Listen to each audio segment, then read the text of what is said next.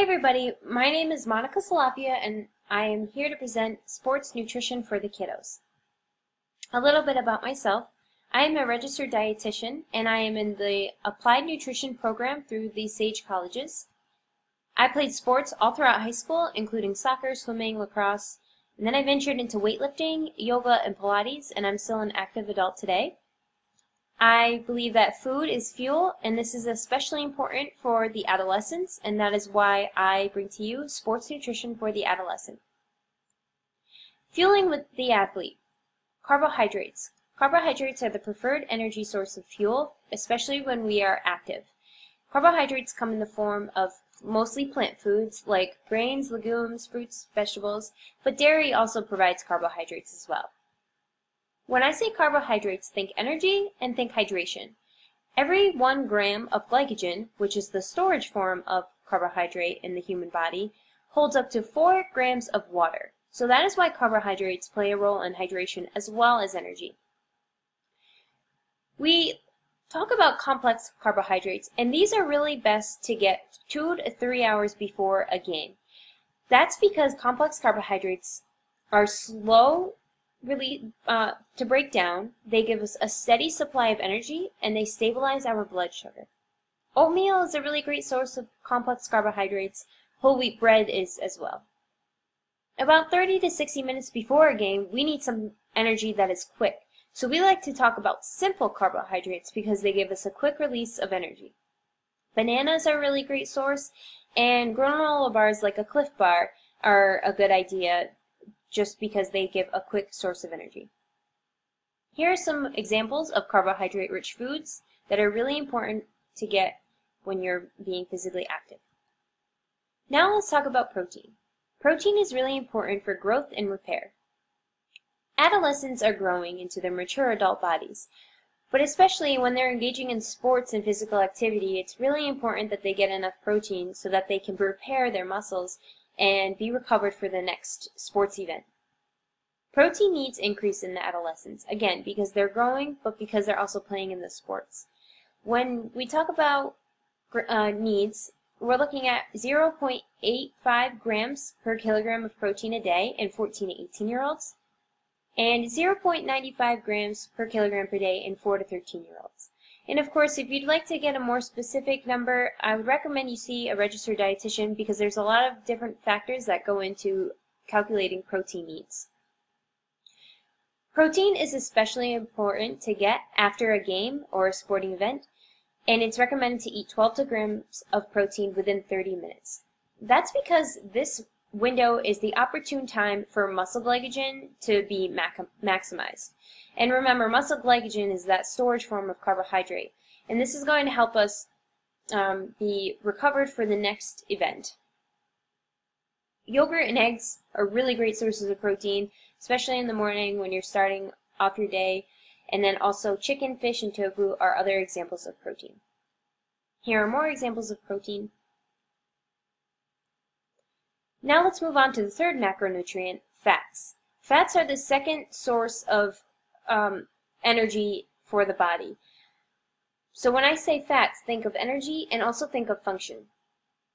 And as I said before, they are the preferred source of fuel when we're at rest, and that includes lower intensity activities such as walking, studying, or even sitting down for this presentation. We're using mostly fats as fuel. They play a very important role in multiple functions in the body. So hormones are fat-based. Brain health is heavily reliant on getting healthy fats in our diets. Especially we talk about omega-3s. Omega-3s are essential fatty acids that are really important in brain health, and they're also uh, fight inflammation, which is really important, especially when we're getting sore muscles. It's because of inflammation. So again, having fats in the diet is a, very important for the adolescent. Here are some good sources of fats to include, like avocado, salmon, olives, or almonds. The most important advice to give to the athlete is to drink water. Water, of course, functions in hydration and also a cooling effect on our bodies.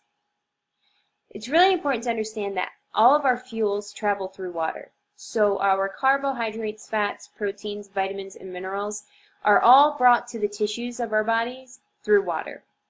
Also, oxygen and, and carbon dioxide are exchanged through water.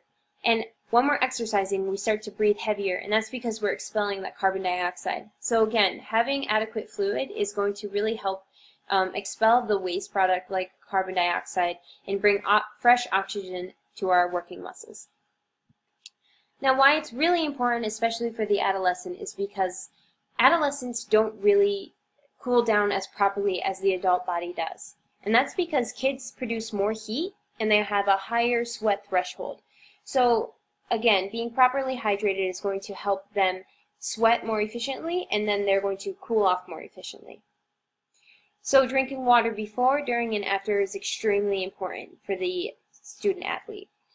And during exercise, we recommend about 5 ounces of water every 20 minutes for the 40 kilogram person, 8 ounces of water every 20 minutes for a 60 kilogram person. Of course, drinking just plain water is a great go-to. If you're looking to freshen it up with fruits or fresh herbs, that's a good idea. Uh, fruit juice can be recommended, but I uh, encourage um, to dilute it so that way you're not getting too many grams of sugar. Same with sports drinks. Um, you can dilute them because they're really loaded with um, added carbohydrates, which are important, but you don't need that much. Also, milk is a good source of fluid, protein, and carbohydrate. Here I'll show you some quick recipes that are great for the student athlete. We'll go through a breakfast, a lunch recipe, and something for post-workout or after a game. For breakfast, a berry chia oatmeal includes a good source of complex carbohydrates, healthy fats from the chias, and some vitamins and minerals, and also carbohydrates from the strawberries. Caribbean chicken with coconut brown rice is a great dinner recipe that you can also pack for lunch leftovers.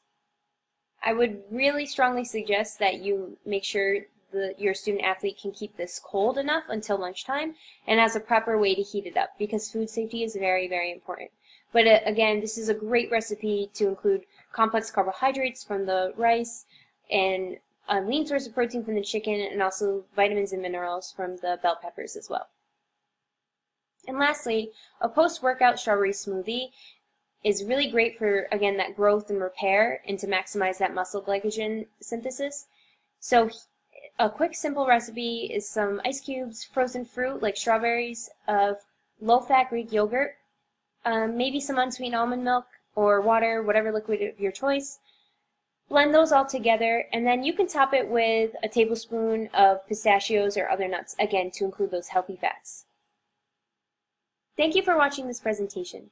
If you would like more information on sports nutrition for the adolescent, please visit the following resources or shoot me an email at mindonnutrition at gmail.com.